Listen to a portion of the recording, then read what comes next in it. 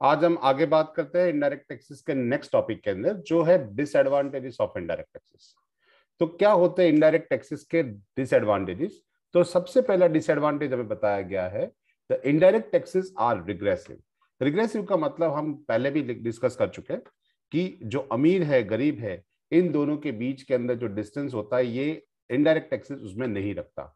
यानी गरीबों से भी टैक्स लिया रहता है और अमीरों से भी टैक्स लिया रहता है। So person is earning less than 2.25 lakhs per annum has not to pay income tax. यानी जो कम अर्न करते हैं, उनसे इनकम टैक्स यानी डायरेक्ट टैक्सेस नहीं लिया रहता a person earning the higher income has to pay more taxes and lower earner incomes that has to pay less taxes या नो टैक्सेस उसको टैक्स नहीं पे करना पड़ता। डायरेक्ट टैक्सेस का जो सिस्टम हमारा कुछ ऐसा है कि जो ज़्यादा अर्न करता है, उसके ऊपर हम ज़्यादा टैक्सेस लिए जाते हैं और जो कम अर्न करते हैं, उनसे टैक्सेस नहीं लिए जाते। लेकिन अगर बात करें इनडायरेक्ट टैक्सेस की so payment of income tax is discriminate between the rich and poor under the principle of equality central excise लेकिन the custom duty VAT etcetera ये सारे ऐसे हैं कि जिसके अंदर आपको कोई डिस्क्रिमिनेट डिस्क्रिमिनेट किया गया है अमीर और गरीब को। एंड इसके हिसाब से देखा जाए तो does not make the any discrimination between the rich and poor किसकी बात कर रहे हैं कि हम जो बात करें इनडायरेक्ट टैक्सेस के अंदर तो इनडायरेक्ट टैक्सेस के अंदर कोई डिस्क्रिमिनेट नहीं किया गया। A car owner has to pay at at par with the daily wage earners in case of the payment of indirect taxes यानी कार ओनर हो या डेली वेज अर्नर हो, दोनों को एक जितना ही टैक्सेस पे करना पड़ता है। और purchase of the edible oil both we have to pay the uniform rate of VAT दोनों को वेट भी पे करना पड़ता है। Even the beggars beggars and the government are liable to pay the indirect taxes यानी government भी उसके अंदर लाइबल होती है, यानी कि एक डिपार्टमेंट को दूसरे डिपार्टमेंट को भी इनडायरेक्ट टैक्स पे करना पड़ता है। Fifth is the government paying indirect taxes to itself there is one government department paying the indirect taxes to the other department. But it is not in the case of the direct taxes. Direct taxes में ऐसा कुछ नहीं होता। उसमें discriminate किया गया है। दूसरी चीज़ हमें बता रखी कि reduce the demand for the goods and service इससे क्या होता है कि जब भी कोई इनडायरेक्ट टैक्सेस लगाए जाते हैं तो वो इंक्लूसिव ऑल टैक्सेस होता है, जो प्राइजेस मार्केट में अवेलेबल होती है। इससे क्या होता है कि जो भी प्रोडक्ट होती है, उसकी जो प्राइस होती है, वो बढ़ जाती है, क्योंकि गवर्नमेंट उसके अंदर टैक्स ऐड कर देते हैं।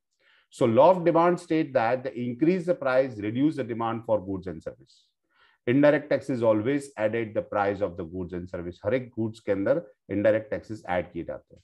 As a consequent demand for the goods and service reduce मांग कम हो जाएगी डिमांड कम हो जाएगी।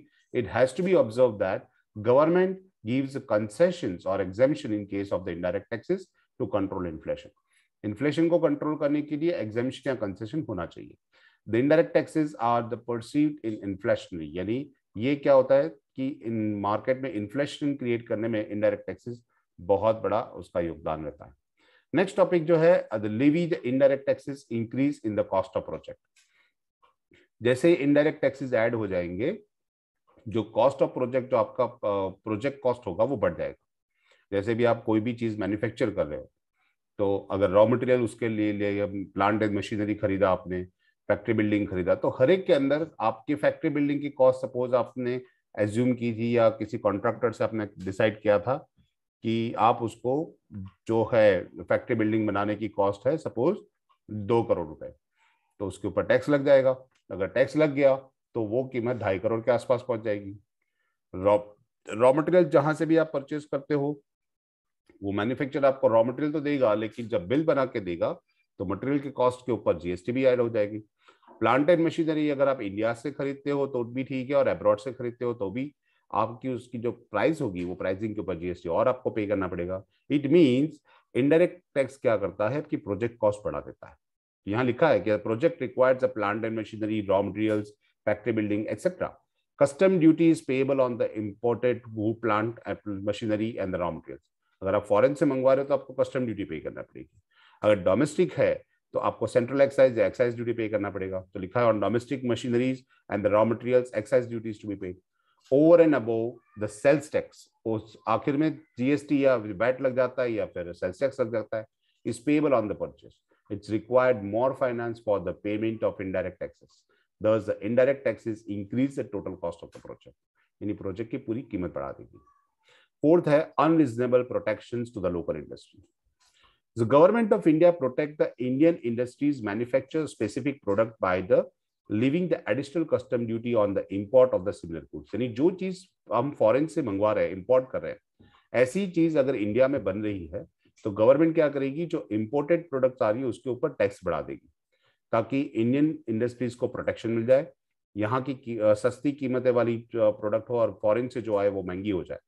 तो इस तरह से गवर्नमेंट क्या करती है थ्रू इनडायरेक्ट टैक्सेस वो इंडियन इंडस्ट्री को प्रोटेक्ट करती है। Imported products become costly as compare to the domestic product the domestic product get protected from the competition with the imported product protected domestic industry may lose the competitiveness as become inefficient.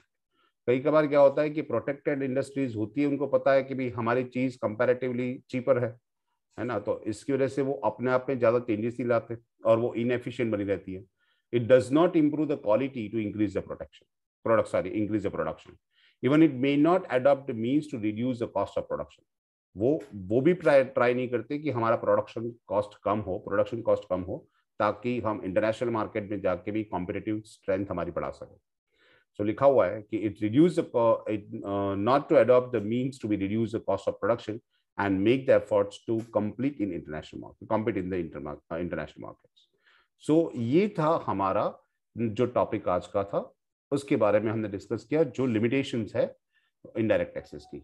यहाँ पे थोड़े बहुत questions हैं जो पूछे जा सकते हैं। जैसे कि क्वेश्चन है explain any five points of the difference between direct taxes and indirect taxes five mark के लिए पूछे जा सकते हैं। दूसरा है explain the difference between the direct taxes and indirect taxes mention any five point of the difference between बहुत सारे सालों में एमएस यूनिवर्सिटी के अंदर ये क्वेश्चन मिड टेस्ट में या एंड एंड एग्ज़ाम में पूछे गए। ओके तो एडवांटेजेस ऑफ़ इनडायरेक्ट टैक्सेस है या फिर डिसएडवांटेजेस ऑफ़ इनडायरेक्ट टैक्सेस है, वो भी आप लर्न कर सकते हो। नेक्स्ट टॉपिक जो है हमारा इंट्रोडक्शन ऑफ़ जीएसटी उसके बारे में हम नेक्स्ट लेक्चर में डिस्कस करेंगे। Bye have a nice day